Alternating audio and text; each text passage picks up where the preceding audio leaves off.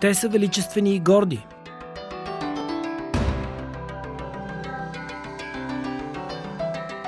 Вдъхновени свише, те си израз на признателна България.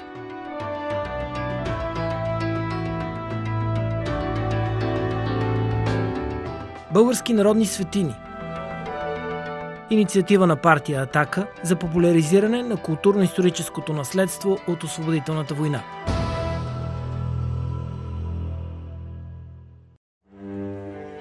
Скобелев парк. Преди един век и днес. Портата е направена от турски топове, руски пушки, пики, саби и щикове. Двата руски топа зад оградата по време на войната изстрелват 500 гранати, 4 от които се забиват в джамията до градската баня. Персийският килим на входа на парка от снимката през 1907 година е направен от дребни речни камъчета. Отдясно на главната алея се намира езерото на Самодивата. Имало е бронзова статуя, която според легендата в полунощ събира в тревата мушици, с които храни рибките в езерото. Минават години, езерото изчезва, а самодивата бяга.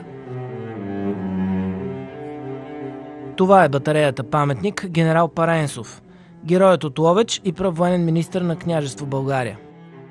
Топовете са обстрелвали турските позиции при село Радишево. На 3 септември 1907 г. генерал Паренсов позира пред паметника батарея, носещ неговото име. Около паметника са били посадени американски лози, грозето на които се раздавало на гостите за Бог да поживи героя Паренсов. Някога. Това са скобелевите паметници.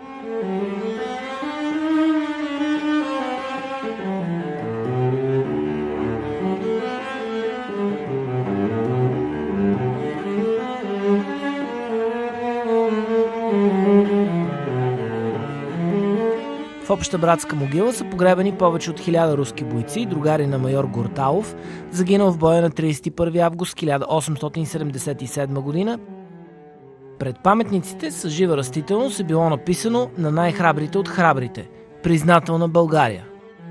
В книгата си Стоян Заимов пише, че паметниците са зацветявани сезонно с най-хубавите цветя и рози, а около тях са жива ограда от глок. Батарея паметник майор Горталов – комендант на редута след превземането му от Скобелев. След заповедта за изтегляне на руските части, Гороталов остава сам и брани до последно позицията.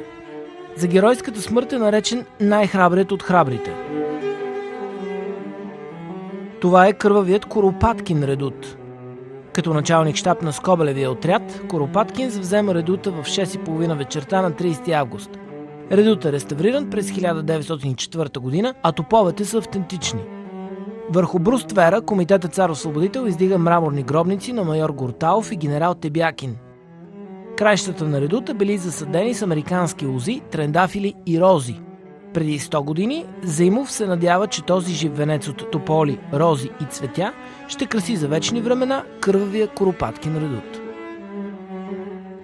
Гробница паметник Мавзолей на Зелените гори.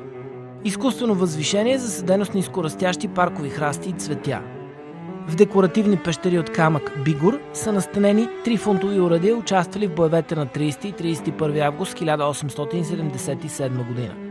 Преди 100 години гробницата е обрасла в рози, ниско растящи ябълки и плодоносни лози. Днес е останал само брашлянът. Във вътрешността българският народ пази свещените останки на руските богатири, славно загинали в боевете на 30 и 31 август за свободата на България. На 3 септември 1907 г. великите князе Владимир Александрович и Андрей Владимирович, генерали и офицери и още 100 000 души гости пристигат у нас да се поклонят пред свещените останки на войните. Това са други поклонници, начало с председателя на думата Александър Гучков. Позират пред мавзолея на Зелените гори. На 31 август 1909 г. на същото място застават български и румънски ветерани, герои от освободителната война предният ден те са отслужили панахида.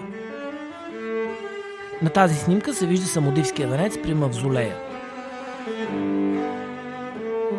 През 1910 година тук се фотографират българският престолонаследник княз Борис и руските велики князе Игор и Олег Константиновичи. В началото на 20 век Стоян Заимов засажда в едно кътче на парка най-разнообразни видове лози от десертно грозде. Идеята на това грозде е то да дава плод. Плод, който се ражда от пролятата кръв на руските войни. Всеки посетител, дошъл тук да разгледа светите места, да види къде са оставили костите си братите освободители, ще може да вкуси от това грозде, да го поеме като причастието, както поема мирянина. Толкова християнска идея. За посрещане на руските гости-поклонници, в Скобелевия парк са разпъвани палатки при батареята паметник граф Тотлебен – Стоян Заимов пише, че най-добрият и мил спомен от България за руските гости-поклонници е пренощуването им в палатки, разпънати на място, където техните бащи оставят главите си и проливат кръвта си за едно велико дело – освобождението на братята българи. Внукът на Наполеон, френският принц Роланд Бонапарт, Стоян Заимов и генерал Радко Димитриев.